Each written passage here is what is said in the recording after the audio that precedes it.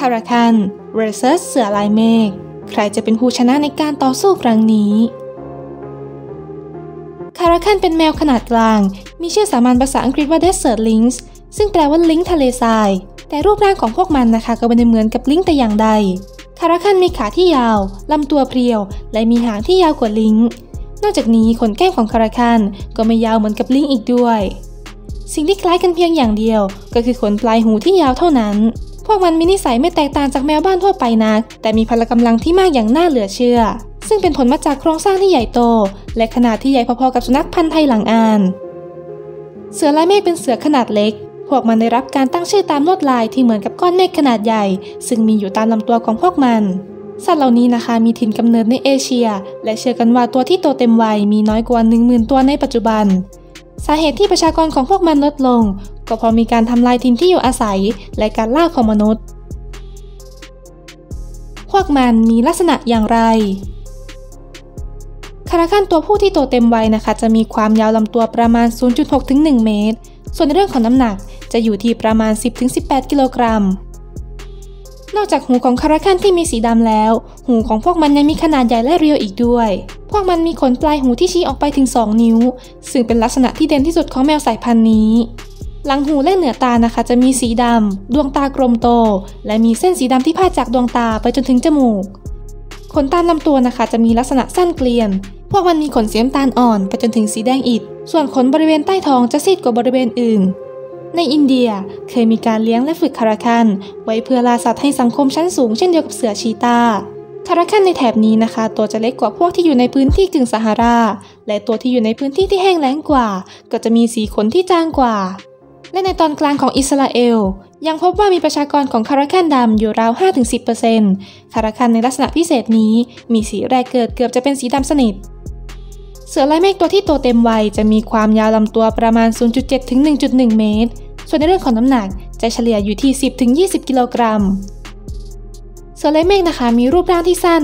ลำตัวมีสีน้ำตาลอมเทาไปจนถึงสีน้ำตาลเหลือง ช่วงล่างและขาด้านในนะคะ จะเป็นสีขาวหรือสีครีม มีลายสีน้ำตาลเข้มเป็นดวงเหมือนกับก้อนเมฆขนาดใหญ่ทั่วตัว ดวงบางดวงนะคะ ก็อาจจะมีจุดสีดำภายในด้วย สีบริเวณที่ท้ายลำตัวนะคะ จะคล้ำกว่าที่หลัง ส่วนแก้มและคอจะมีเส้นสีดำ มีเส้นแนวสันหลังสองเส้น เสือลายเมฆมีหูที่สั้นกลม หลังหูจะมีสีดำและมีจุดสีขาวอมน้ำตาลอยู่กลางหลังหู ขาหลังของพวกมันจะยาวกว่าขาหน้าอย่างเห็นได้ชัด พวกมันมีหางที่ยาวมาก มีลายเป็นปล้อง และปลายหางจะเป็นสีดำหรือสีเทา ซึ่งหางของพวกมันนะคะ ยาวได้เกือบ 90เซนติเมตรเลยทีเดียว ตัวผู้นะคะหางจะค่อนข้างเรียว ส่วนตัวเมียหางมักจะฟูกว่า พวกมันไม่เพียงมีลวดลายที่โดดเด่นเท่านั้น โครงสร้างภายในและลักษณะทางพันธุกรรม ก็แตกต่างจากเสือชนิดอื่นด้วยทำให้เสือลายเมฆจัดอยู่ในสกุลแยกกับเสือชนิดอื่น นั่นก็คือ Neophilis พวกมันอาศัยอยู่ที่ไหน ในแอฟริกาใต้คาราคันนะคะจะอยู่ในป่าดิบและป่าบนเขาสูง ทางตอนใต้ของจังหวัดเคป ส่วนในเอธิโอเปีย คาราคันพบได้สูงถึง 2,500 เมตร ในเทือกเขาเบลีและไซเมียน พวกมันนะคะอาศัยอยู่ในพื้นที่แห้งแล้ง และสามารถอดทนต่อสภาพที่อยู่อาศัยหลายประเภท พบในป่าวูดแลนด์ สวรรนา และป่าละเมาะทั่วทวีปแอฟริกา คาราคันนะคะจะพบได้บ่อยที่สุดในป่าชุ่มชื้น ใกล้ชายฝั่งทางเหนือของทะเลทรายซาฮารา และยังพบในทะเลทรายของอินเดียอีกด้วยโดยปกติเสือลายเมฆจะชอบอาศัยอยู่ในพื้นที่ป่าดิบชื้นเขตร้อน แต่ก็อาจพบในป่าแบบอื่นได้บ้างเหมือนกัน อย่างเช่นในป่าชั้น 2 หรือป่าที่มีการทำป่าไม้ รวมไปถึงป่าหญ้าและป่าละเมาะด้วย ในพม่าและไทยนะคะ เคยพบเสือลายเมฆในป่าดิบแล้ง ส่วนในจีนจะพบเสือลายเมฆในหลายพื้นที่ ทางฝั่งใต้ของแม่น้ำแยงซีเกียง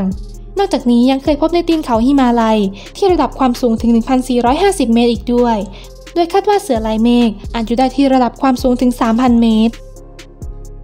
พวกมันกินอะไรเป็นอาหาร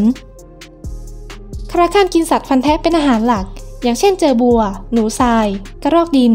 นอกจากนี้ยังกินนก ไฮแรกหิน กระต่ายป่า และแอนติโลปขนาดเล็ก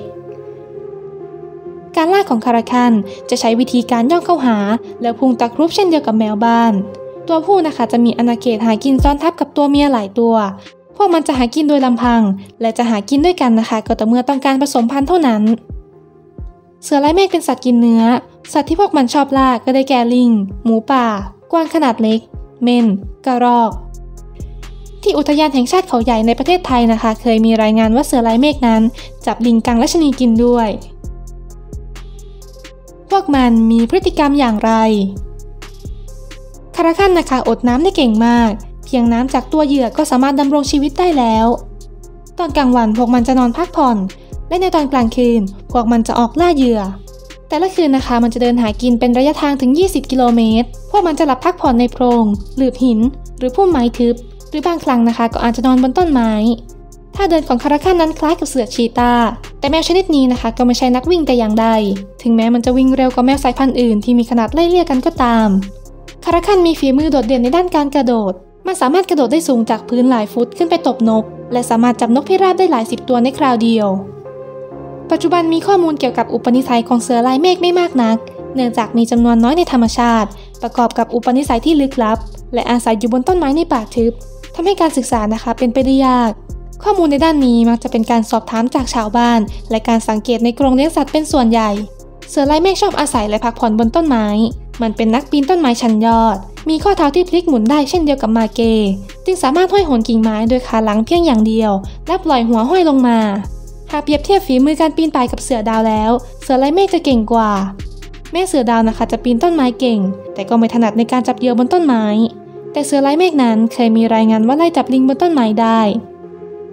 ต่อไปก็ถึงเวลาที่เราจะไปค้นหากันว่า หากคาราคันนั้นสู้กับเสือลายเมฆสัตว์ตัวใดจะเป็นฝ่ายชนะสำหรับในเรื่องของขนาด สัตว์ทั้งสองตัวนะคะค่อนข้างมีขนาดใกล้เคียงกันมาก ดังนั้นผลของการต่อสู้ก็น่าจะขึ้นอยู่กับปัจจัยอื่น จริงอยู่ที่คาราคันนั้นวิ่งได้เร็วมาก เมื่อเทียบกับแมวขนาดที่ใกล้เคียงกัน นอกจากนี้มันยังกระโดดได้สูงมากอีกด้วย แต่เสือลายเมฆนั้นมีความคล่องตัวมากกว่า มันสามารถจับเหยื่อได้อย่างคล่องแคล่ว ไม่ว่าจะอยู่บนพื้นดินหรือบนต้นไม้ นอกจากนี้เหยื่อที่พวกมันล่านั้นยังมีขนาดใหญ่มากกว่าคาราคันที่กินเพียงสัตว์ฟันแท้เป็นอาหารหลัก สิ่งที่พวกมันได้เปรียบมากที่สุดก็คือเขี้ยว เขี้ยวของเสือลายเมฆนั้นยาวกว่าคาราคันมาก ซึ่งช่วยให้มันสามารถสร้างความเสียหายต่อคู่ต่อสู้ได้ดีกว่านั่นเอง ดังนั้นในการต่อสู้ครั้งนี้แอบคิดว่าเสือลายเมฆนั้น น่าจะมีโอกาสชนะมากกว่า ทุกคนมีความคิดเห็นอย่างไรกันบ้าง คอมเมนต์ไว้ใต้คลิปนี้ได้เลย และนี่คือทั้งหมดสำหรับวันนี้ ขอบคุณทุกคนที่รับชมจนจบ